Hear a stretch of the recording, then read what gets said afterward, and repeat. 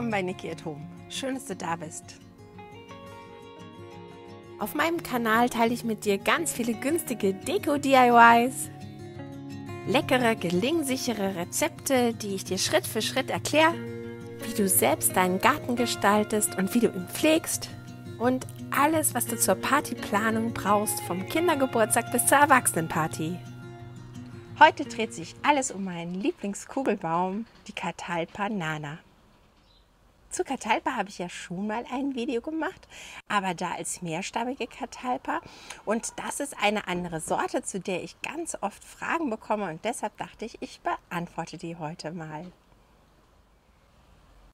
Falls ihr mein letztes Catalpa-Video nicht gesehen habt über die mehrstämmige Catalpa, dann verlinke ich euch die gerne hier oben und unten in der Infobox.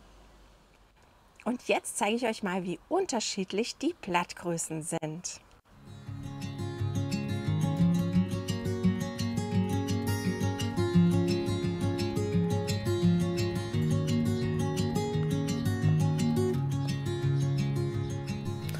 Der Trompetenbaum Catal Banana treibt sehr spät aus. Der bildet seine Blätter erst Ende April, Anfang Mai.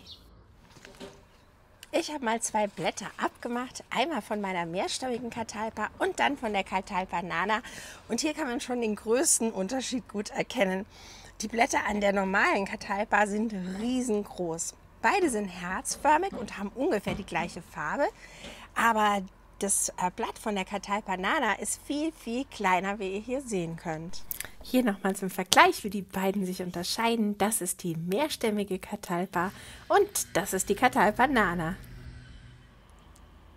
Eine andere Frage, die ich oft gestellt bekomme, ist, blüht die Catalpa Nana?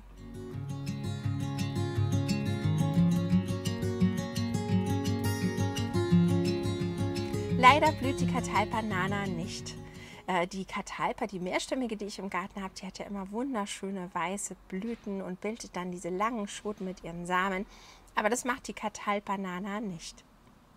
Das ist meine mehrstämmige Catalpa, die jedes Jahr so im Juli wunderschön blüht.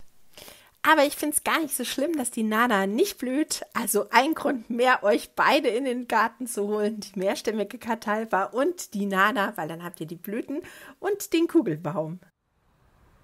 Es gibt nicht nur den Trompetenbaum als Kugelform, also die Catalpa nana, die nennt sich ja auch Trompetenbaum, sondern es gibt auch ganz viele andere Sorten als Kugelbäume, die einstämmig sind und die habe ich euch mal hier auf einer Liste zusammengestellt.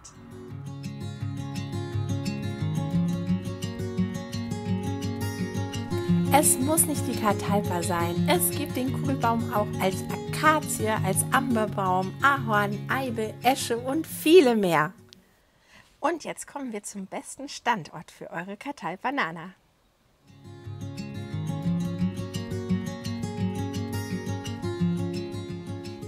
Die Kartei Banana ist ein Sonnenanbeter und mag gerne die direkte Sonne. Also ihr könnt einen sonnigen Standort für sie finden und luftig sollte er sein. Ihr könnt sie natürlich auch im Halbschatten ähm, pflanzen, das geht auch. Aber sie liebt die Sonne. Wenn dir mein Video bisher gefällt, dann lass mir doch ein Like da oder noch besser teils mit deinen Freundinnen oder gib mir ein Abo. Das hilft meinem Kanal weiter zu wachsen und du wirst immer informiert, wenn es was Neues gibt. Ich sag vielen Dank. Und jetzt gebe ich euch ein paar Tipps zum Düngen.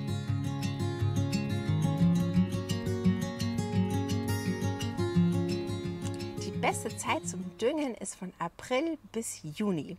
So drei, vier Mal könnt ihr düngen mit einem Universaldünger oder mit einem speziellen Baumdünger. Ich mische auch gerne Hornspäne drunter und vielleicht ein bisschen frischen Humus.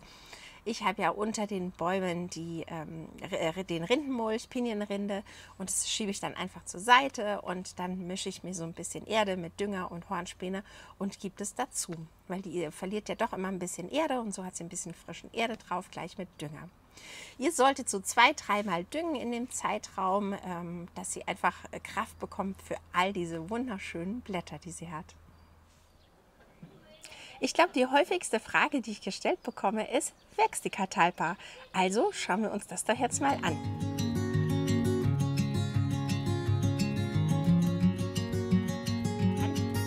Es ist nicht so einfach, die Frage zu beantworten, also teile ich sie in verschiedene Schritte. Klar wächst die Katalpa oben, die Krone wächst, natürlich wird die größer, kann man dann wieder zurückschneiden, wenn man möchte. Ich habe meine im Hintergrund jetzt schon, glaube ich, das fünfte Jahr und die Krone noch nicht geschnitten. Also ihr könnt sie dann schneiden, wenn sie euch zu groß wird. Ah, und äh, die zweite Sache ist, der Stamm, der wächst natürlich, der wächst natürlich in die Breite. Am Anfang war mein Stamm vielleicht so zwei, drei Zentimeter dick und mittlerweile hat er bestimmt fünf, sechs Zentimeter in Dicke. Also der Stamm wächst schon in die Breite, aber er wächst nicht in die Höhe. Und das hat einen ganz einfachen Grund. Die Katalpanana ist oben veredelt. Also die schneiden den Stamm ab und veredeln dann oben wieder Zweige drauf. Das heißt, die Krone, die wächst größer, aber der Stamm selber kann nicht mehr nach oben wachsen. Also müsst ihr beim Kauf genau darauf achten, dass ihr die Größe kauft, die ihr möchtet. Oder besser gesagt, die Höhe von unten von der Erde bis äh, zur Veredelung. Wenn ihr unter die Krone schaut, dann seht ihr auch das Stück, das veredelt ist. Ich zeige es euch nochmal näher. Hier sieht man es ganz genau, wo das veredelt wurde. Und da kann der Baum einfach nicht mehr nach oben wachsen. Aber natürlich wachsen oben die Äste, die Krone selbst, die wird immer größer.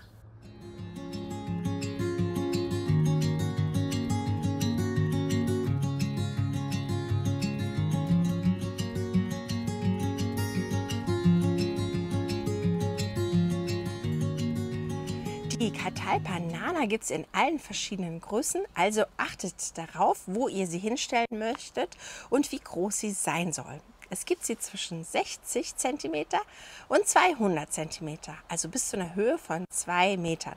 Und die Höhe beschreibt immer vom Boden zu dem Ansatz, wo sie veredelt ist. Also, wenn ihr eine Sache vom Video mitnimmt, dann das. Die Stammhöhe ist total wichtig. Die wird auch manchmal anders bezeichnet. Also fragt lieber nochmal doppelt nach. Was ich an der Katalpanana oder am Trompetenbaum so liebe, ist diese Krone.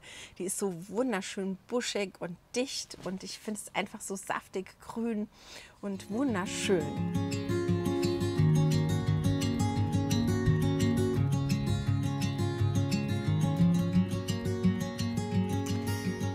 Ich habe ja zwei Katalpas gepflanzt, rechts und links und äh, unten drunter eine, ein Feld mit Annabelle-Hortensien.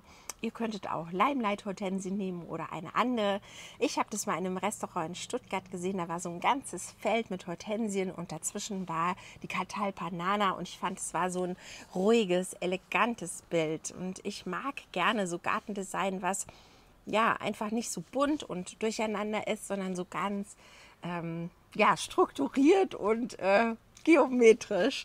Von daher, ich äh, liebe es, wenn es so eine Ruhe hat, so eine Geometrie und so eine Wiederholung und so eine Ruhe mit immer wieder der gleichen Pflanze. Ich finde, das macht einfach so ein ganz ruhiges äh, Gartenbild. Ich hoffe, es gefällt euch auch und ich konnte euch inspirieren, euch vielleicht auch eine Katalpanana in den Garten zu holen oder einen anderen Kugelbaum.